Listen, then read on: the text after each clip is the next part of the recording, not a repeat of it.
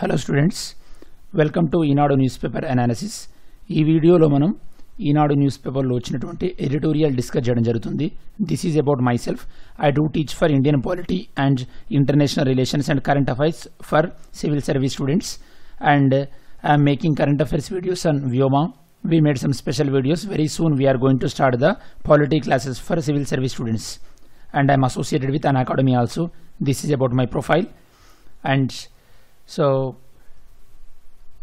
i'm very thankful to all the people who helped to me so far to my you know parents and Vyoma team to helping this kind of you know creating these videos and to all my teachers and my all my students who are encouraging me in all the way to producing this quality videos.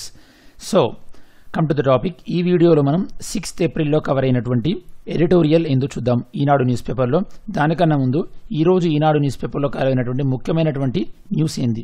First one మహిళా సాధికార సాధికారతపై మాటలతో సరి. Page number four second one ప్రపంచ bank అధ్యక్షుడిగా Malpass ఎన్నిక.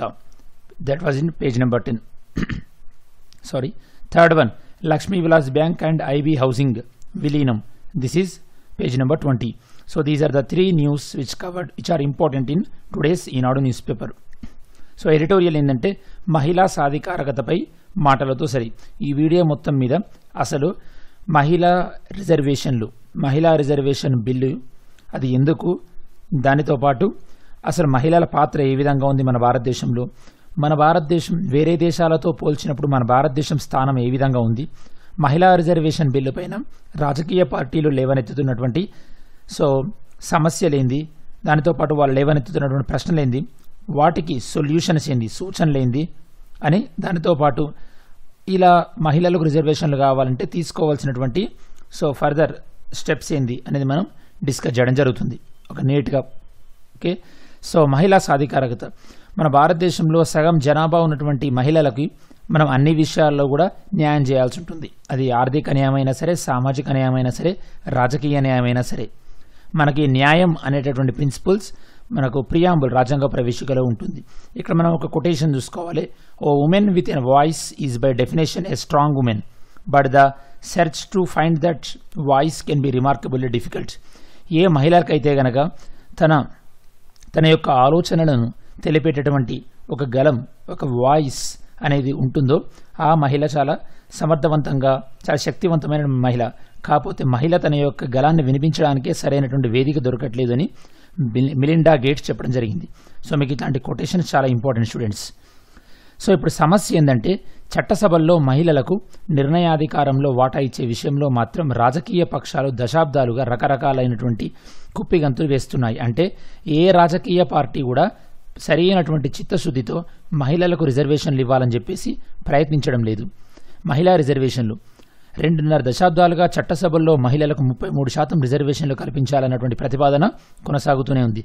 ఇక్కడ చట్టసభలు అంటే మీకు అర్థం కావాల్సింది ఏంటంటే రాష్ట్ర స్థాయిలో ఉన్నటువంటి విధానసభ విధాన పరిషత్ శాసనసభ శాసన మండలి. అదే పార్లమెంట్లో ఉన్నటువంటి లోక్సభ అండ్ రాజ్యసభ. ఇందులో రిజర్వేషన్ల గురించి. ఎందుకంటే స్థానిక ప్రభుత్వాలలో ఆల్రెడీ రిజర్వేషన్లు ఉన్నాయి ఇక్కడ పంచాయతీరాజ్ అండ్ మున్సిపాలిటీలలో.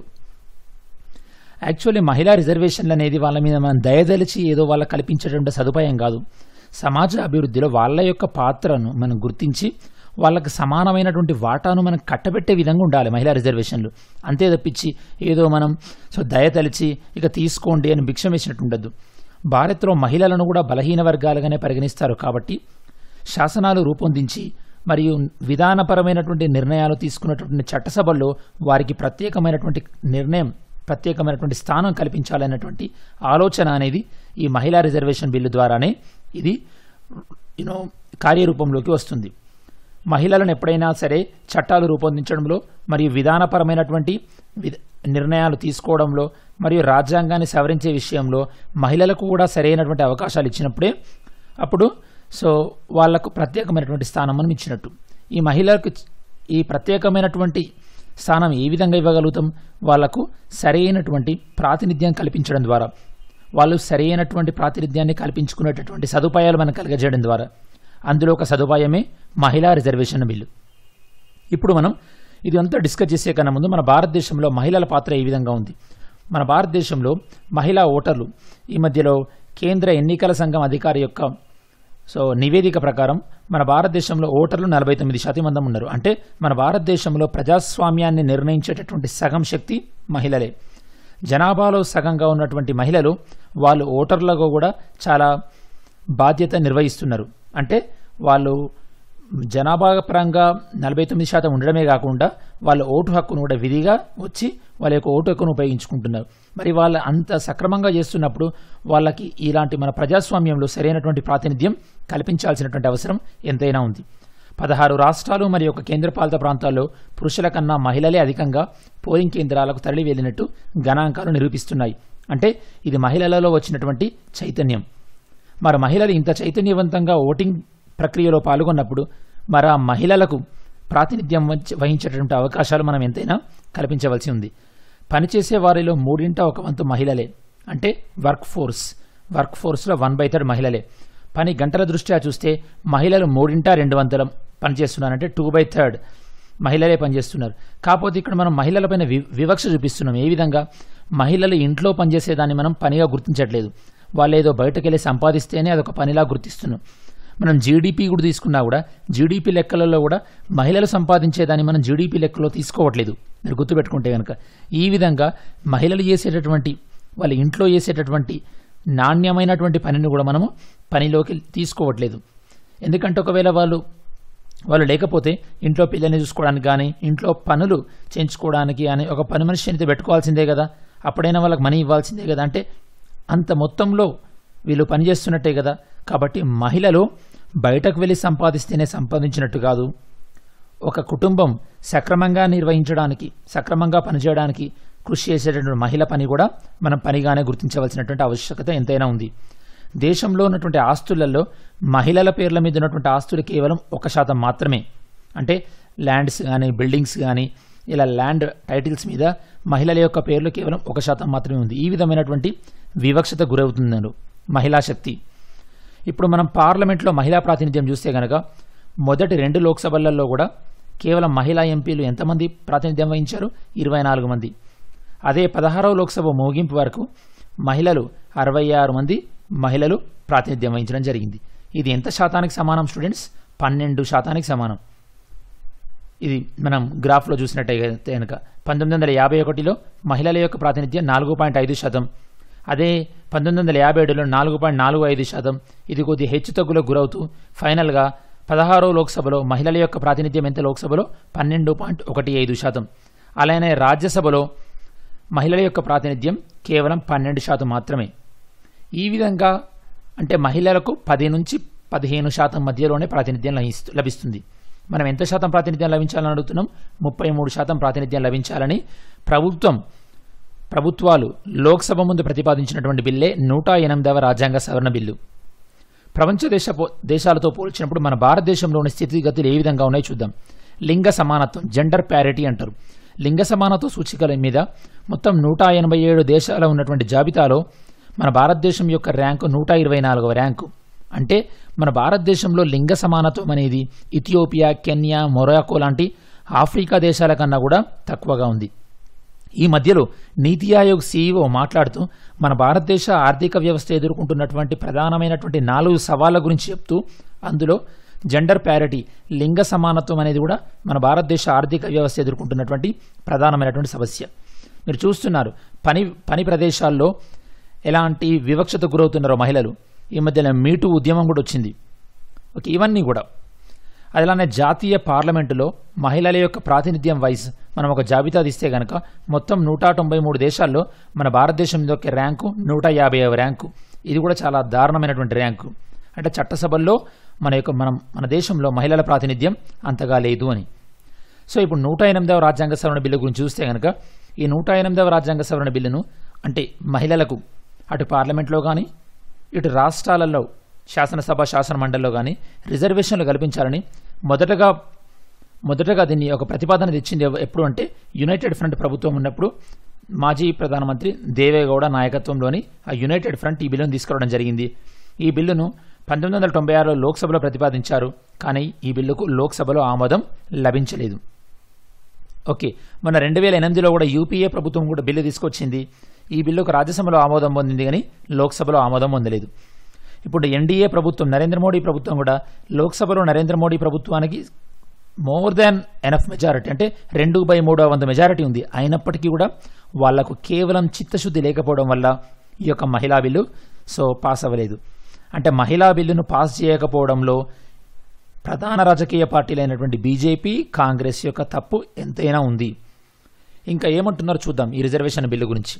ఇప్పుడు ఎస్సీ ఎస్టీలకు ఎలా అయితే కనుక చట్టసభల్లో రిజర్వేషన్లు ఉన్నాయో అలానే మహిళలకు ఇప్పుడు మనం ముప్పై మూడు శాతం రిజర్వేషన్లు ఇస్తాం కదా అంటే వందలో ముప్పై మూడు సీట్లు మహిళలకు ఇస్తే ఈ ముప్పై మూడు శాతంలో కూడా మళ్ళీ రిజర్వేషన్ ఇవ్వాలి అని. అంటే ఇందులో ఎస్సీ మహిళలకు కొన్ని సీట్లు ఎస్టీ మహిళలకు కొన్ని సీట్లు బీసీ మహిళలకు కొన్ని సీట్లు ఈ విధంగా. అంటే మహిళలకు ఇచ్చే రిజర్వేషన్లో మళ్ళీ ఉప రిజర్వేషన్లు ఉపత ఉపతరగతులుగా విభజించాలని. దీనిపైనే చాలా రాజకీయ పార్టీలు డిమాండ్లు చేయడం జరిగింది. కావాలని అడ్డగించడం జరిగింది బిల్లును. ఇలాంటి సో ఉప విభజన జరగాలని. చట్టసభల్లో మహిళలకు జనాభా ప్రాతిపదికన కాకపోయినా కనీసం ముప్పై మూడు శాతం స్థానాలు ఉంటే రాజకీయ రాజకీయాల్లో వారి పాత్ర పెరుగుతుందని వారిపైన ఉన్నటువంటి వివక్షలను తగ్గించవచ్చునని అసమానతను తొలగించవచ్చునని మనం భావించాం మరి ఇప్పుడు రాజకీయ పార్టీలు ఏమంటున్నాయి? ప్రధానమైనటువంటి కాంగ్రెస్ మరియు బీజేపీ ఈ విషయంలో వాళ్ళకి ఎలాంటి నిబద్ధత కూడా లేదు. కనీసం ఈ రెండు రాజకీయ పార్టీలు తమ పార్టీ పదవులలో కనీసం అంటే బీజేపీ పార్టీ క్యాడర్లో కానీ కాంగ్రెస్ పార్టీ క్యాడర్లో కానీ వాళ్ళ పార్టీ పదవులలో కూడా మహిళలకు ఒకటి బై మూడో వంతు స్థానాలు ఇవ్వలేకపోతున్నారు. అంటే ఇదంతా దేనికి? పురుషాధిక్యతకు. సో ఇది ఒక చిహ్నం అన్నమాట. అసలు చెప్పాలంటే బహిరంగంగా ఏ పార్టీ కూడా మహిళా రిజర్వేషన్లకు వ్యతిరేకమని చెప్పట్లేదు. ఎందుకంటే ఓట్లు పోతాయి కాబట్టి. మరి రాజకీయ పార్టీలు మహిళా రిజర్వేషన్ల బిల్లును అడ్డుకోవడానికి వీళ్ళు పన్నుతున్నటువంటి వ్యూహం ఏంది? ఉపకోట మీకు ఇంతకుముందు చెప్పినట్టు ముప్పై మూడు శాతం మహిళలకు రిజర్వేషన్ ఇద్దాం. మళ్ళీ ముప్పై మూడు శాతంలో కూడా ఎస్సీ మహిళలకు ఎస్టీ మహిళలకు బీసీ మహిళలకు ఇలా ఉపకోట ఉండాలి. సో నూట ఎనిమిదవ రాజ్యాంగ సవరణ బిల్లులో ఇలాంటి ఉపకోట లేదు కాబట్టి అని కొన్ని రకాలైనటువంటి ప్రతిపక్షాలన్నీ కూడా ఈ బిల్లుకు అడ్డు తగలడం జరిగింది. ఈ విధంగా. అసలు ఇప్పుడు ఏవైతే కనుక బీసీ పార్టీలు అని చెప్పుకుంటున్నాయో బీఎస్పీ కానీ సమాజ్వాదీ పార్టీ కానీ లేదా సో నితీష్ కుమార్ పార్టీ కానీ ఇవన్నీ కూడా ఇవన్నీ ఏ ఎవరి సిద్ధాంతాల నుంచి వచ్చినాయి? రామ్ మనోహర్ లోహియా సిద్ధాంతం నుంచి వచ్చినవి. ఈ రామ్ మనోహర్ లోహియా ఏం చెప్పారంటే ఎప్పుడైనా సరే అనగారినటువంటి మహిళలను మనం కులాల వారీగా విభజించకూడదు. అంటే మహిళలు ఓసీయా బీసీయా ఎస్సీయా ఎస్టీయా కాదు మనకి ఇక్కడ మనకి ఇక్కడ అన్ని కులాల్లో ఉన్నటువంటి మహిళలు కూడా అసమానతకు గురయ్యారు వివక్షతకు గురయ్యారు కాబట్టి ఈ ముప్పై మూడు శాతం ఇస్తున్నటువంటి రిజర్వేషన్లు మహిళలందరికీ ఇవ్వాలి తప్ప మళ్ళీ ఇందులో కూడా సో మనం వర్గీకరణలు ఉపకోట అనేది సమంజసం కాదు. దేవరి ప్రకారం లోహియా యొక్క సిద్ధాంతం ప్రకారం. ఇప్పటికే ఎస్సీ ఎస్టీలకు కలిపి మన భారత పార్లమెంట్లో ఇరవై రెండు పాయింట్ ఐదు శాతం స్థానాలు రిజర్వ్ అయినాయి. అంటే ఎస్టీలకు ఎస్టీలకు ఎయిటీ ఫోర్ ఎస్ ఎస్సీలకు ఎయిటీ ఫోర్ ఎస్టీలకు ఫార్టీ సెవెన్ సీట్లు రిజర్వ్ అయి ఉన్నాయి. ఇందులో లోక్సభలో. రాజ్యసభలో రిజర్వేషన్ ఉండవు. లోక్సభలో ఎన్ని సీట్లు ఉన్నాయి? ఇప్పుడు మహిళలు కూడా ముప్పై మూడు శాతం ఇస్తే ఏమవుతుంది? యాభై శాతం కన్నా ఎక్కువ రిజర్వేషన్ సీట్లే పోతాయి. మిగతాయి కేవలం ఓపెన్ కేటగిరీ నలభై ఐదు నలభై ఆరు శాతం మాత్రమే ఉంటాయని చెప్పేసి రాజకీయ పార్టీల యొక్క బాధ.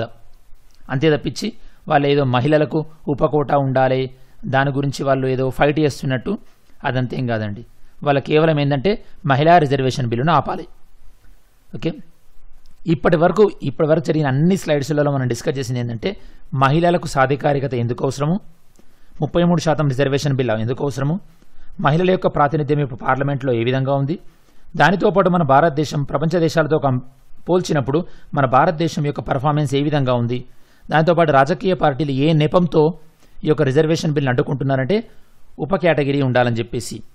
అంటే సో ఉపకోట ఉండాలి ఉన్నటువంటి మొత్తం మహిళా రిజర్వేషన్లలో కూడా మళ్ళీ అందులో ఎస్సీ ఎస్టీ రిజర్వేషన్లో డివైడ్ చేయాలని చెప్పేసి లోహియా సిద్ధాంతాలని వీళ్ళు పాటించట్లేదు.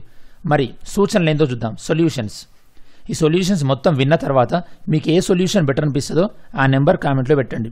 One two three four five అలా. మొత్తం ఉన్నటువంటి సొల్యూషన్స్ అని చెక్ చేద్దాం. First solution. ఈ ఫస్ట్ సొల్యూషన్ ఏం చెప్తుందంటే మహిళలకు ముప్పై మూడు శాతం రిజర్వేషన్లు కల్పించాలనుకున్నారు కాబట్టి ఇప్పుడున్న సభ్యుల స్థానాలకు భంగం కలగకుండా ఆ మేరకు చట్టసభల్లో సీట్ల సంఖ్య పెంచడాన్ని ఒక మార్గంగా కొందరు ప్రతిపాదిస్తున్నారు. అంటే ఇప్పుడు లోక్సభలో ఎన్ని సీట్లు ఉన్నాయి ఐదు వందల నలభై ఐదు సీట్లు ఉన్నాయి ఇప్పుడు చాలామంది యొక్క బాధ ఏంది? ఇందులో నుంచి మహిళలకు ముప్పై మూడు శాతం ఇస్తే పురుషులకు సీట్లు తగ్గుతాయని చెప్పేసి చాలా రాజకీయ పార్టీలు దీన్ని అడ్డుకుంటున్నాయి.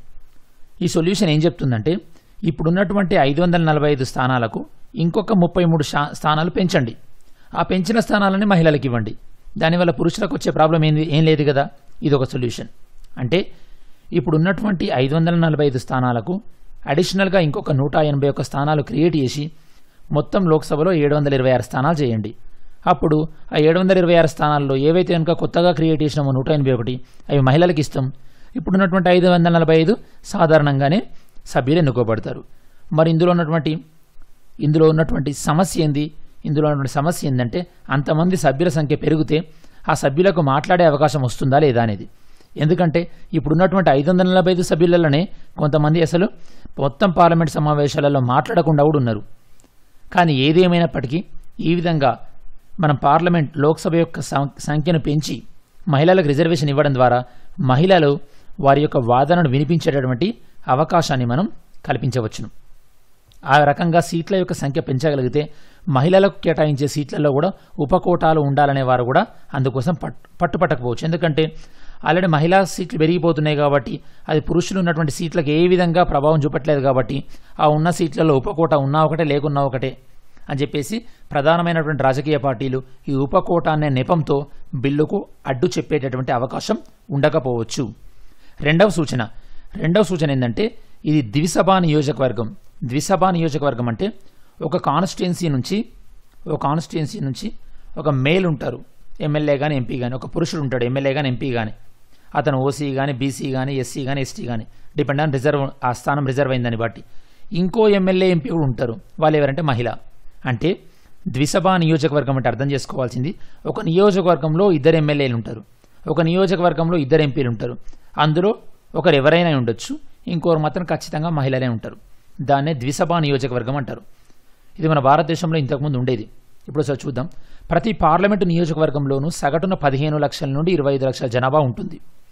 అలానే శాసనసభ నియోజకవర్గాల్లో జనాభా రెండు నుంచి మూడు లక్షల దాకా ఉంటుంది.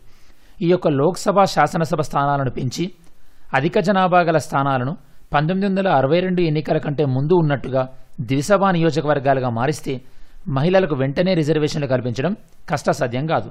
అంటే ప్రతి నియోజకవర్గంలో ఇద్దరు ఎమ్మెల్యేలు ఇద్దరు ఎంపీలు అందులో మహిళ మాత్రం ఖచ్చితంగా ఉంటుంది. ఈ విధమైనటువంటిది. ఈ విధమైనటువంటి రిజర్వేషన్ మన భారతదేశంలో పంతొమ్మిది వందల యాభై ఏడు ఎన్నికల దాకా ఇలానే ఉండేది. దీన్ని అమలు చేయడం వల్ల ఒక నియోజకవర్గం నుంచి ఒక జనరల్ క్యాండిడేట్తో పాటు ఒక ఎస్సీ అభ్యర్థినో ఒక ఎస్సీ అభ్యర్థినో అభ్యర్థిని ఎన్నుకునేవాళ్ళు అప్పుడు. అప్పుడు ఎలా ఉండేది? ఒక జనరల్ క్యాండిడేట్ ఖచ్చితంగా ఉండేవాళ్ళు ఒక ఎస్సీ ఎస్టీని ఎన్నుకునేవాళ్ళు.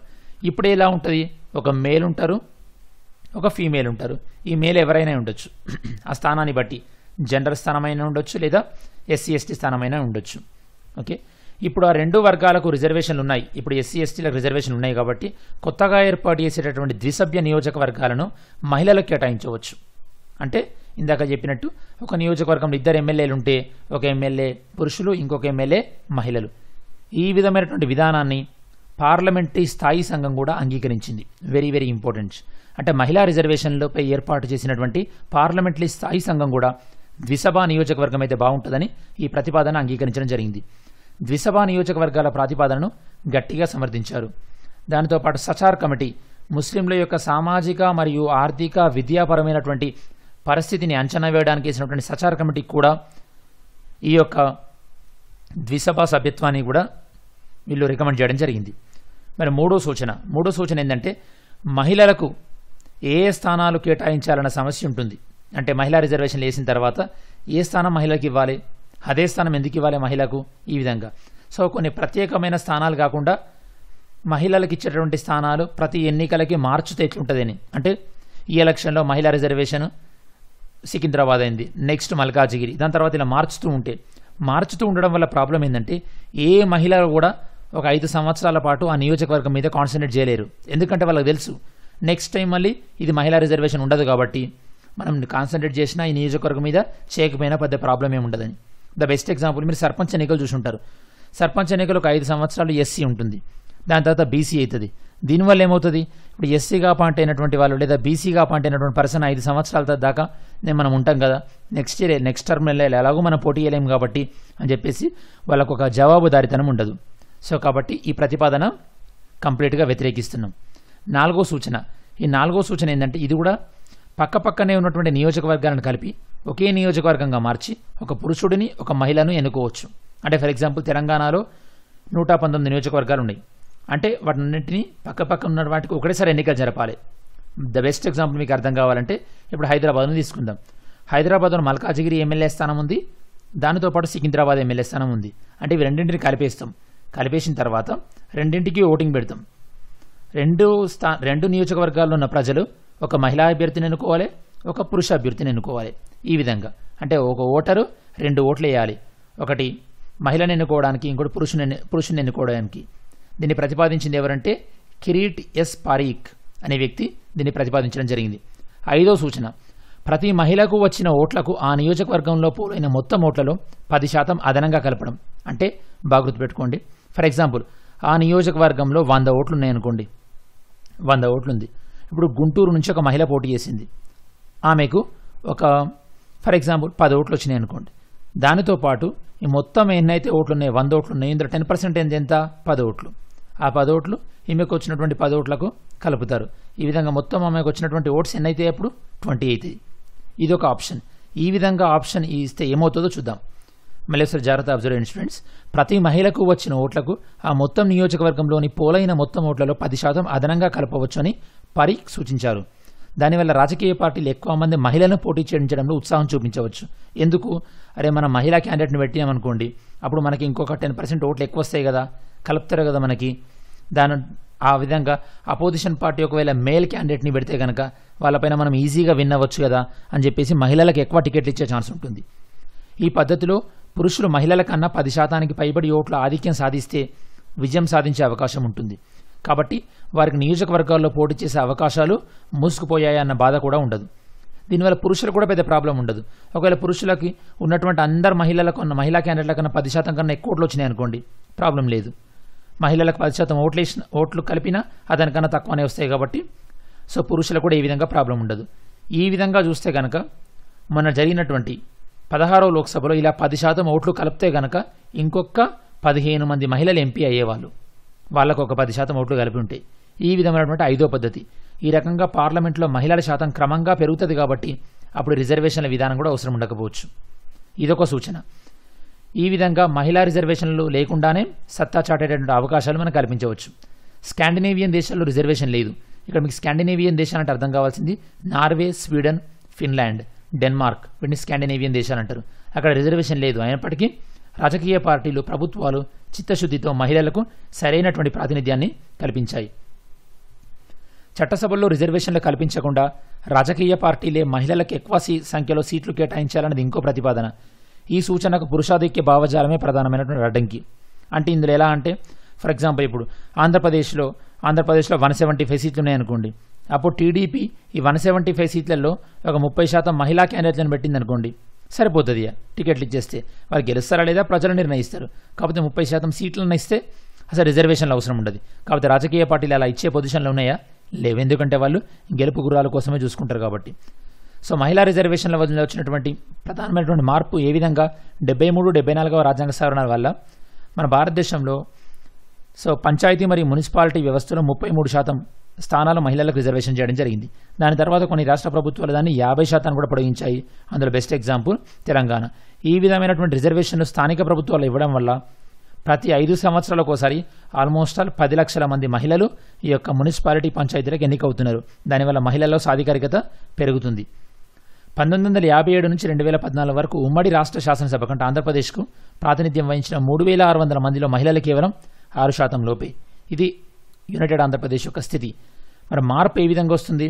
మార్పు first seventy third seventy fourth constitution amendments that the first thing second పశ్చిమ బెంగాల్ అండ్ పశ్చిమ బెంగాల్ తృణమూల్ కాంగ్రెస్ అనౌన్స్డ్ సుమా సుమారుగా నలభై శాతం టికెట్లు మహిళలకు కేటాయించడం జరిగింది. దాంతోపాటు ఒడిశాలో బిజు జనతాదళ్ పార్టీ ఇప్పుడే ఇప్పటికే వాళ్ళ అసెంబ్లీలో ముప్పై మూడు శాతం మహిళలకు రిజర్వేషన్ చేస్తూ బిల్లు కూడా పాస్ చేయడం జరిగింది. ఇదొక రకమైనటువంటి మార్పు. దాంతోపాటు గత కొంతకాలంగా ఎన్నికల్లో పోటీ చేసేటువంటి మహిళల సంఖ్య కూడా క్రమంగా పెరుగుతుంది. ఎన్నికల బరిలోకి దిగుతున్నటువంటి మహిళల సంఖ్య గతంతో పోలిస్తే ఇప్పుడు ఇప్పుడు పదిహేను శాతం పెరిగింది. అదే పురుషుల పురుషులది మాత్రం ఐదు శాతమే పెరిగింది. మరో వంక మహిళల యొక్క విజయ అవకాశాలు కూడా పెరుగుతున్నాయి. రెండు వేల పద్నాలుగులో అరవై ఐదు అరవై ఐదు మంది మహిళలు రెండో స్థానంలో ముప్పై తొమ్మిది మంది మహిళలు మూడో స్థానంలో నిల నిలవడం జరిగింది. ఈ విధంగా పురుషాధిక్య భావజాలం అనేది ఏ ఒక్క రాజకీయ పార్టీకే పరిమితం కాలేదు. ఇది అన్ని రాజకీయ పార్టీలలో ఉంది. కాబట్టి చట్టసభల్లో మూడో వంతు రిజర్వేషన్ల సాధనకై మహిళాలోకం ఉద్యమించి పార్టీలు పార్టీలను తమ దారికి తెచ్చుకుంటే తప్ప తెచ్చుకుంటేనే దేశంలో నూతన చరిత్ర అనేది స్టార్ట్ అవుతుంది అని చెప్పేసి ఈ యొక్క ఎడిటోరియల్. మళ్ళీ ఒకసారి స్టూడెంట్స్ మొత్తం రివిజన్ చేద్దాం. ఇందులో మొత్తం మనం డిస్కస్ చేసింది మహిళా రిజర్వేషన్ల బిల్లు గురించి. దానితో పాటు ఆ మహిళల యొక్క పాత్ర ఏ విధంగా ఉంది మన భారతదేశంలో? మన భారతదేశం ప్రపంచ దేశాలతో పోల్చినప్పుడు ఏ విధంగా ఉంది? చట్టసభలో ఈ అమలు చేస్తున్నటువంటి ఐ మీన్ ప్రతిపాదించినటువంటి ఈ బిల్లులో ఉన్నటువంటి లోపాలేంది ప్రతిపక్ష పార్టీలు దీన్ని ఏ విధంగా అడ్డుకుంటున్నాయి? రామ్ మనోహర్ లోహియా ఏం చెప్పారు? దాంతోపాటు ఎలాంటి సూచనలు మనం ఎలాంటి సూచనలు అయితే బాగుంటుంది? పార్లమెంటరీ స్థాయి సంఘం ఏం చెప్పింది? సచార్ కమిటీ ఏం చెప్పింది? అనేవి మనం డిస్కస్ చేయడం జరిగింది. దానితో పాటు స్థానిక సంస్థల్లో రిజర్వేషన్లు ఇచ్చిన తర్వాత మహిళా సాధికారికత ఎలా పెరిగింది? అనేది కూడా పెరిగి చెక్ చేసుకున్నాం. దాంతోపాటు ప్రస్తుత పరిస్థితుల్లో మహిళల యొక్క ప్రాతినిధ్యంలో మార్పు వస్తుంది అని కూడా చూడడం మనం డిస్కస్ చేయడం జరిగింది.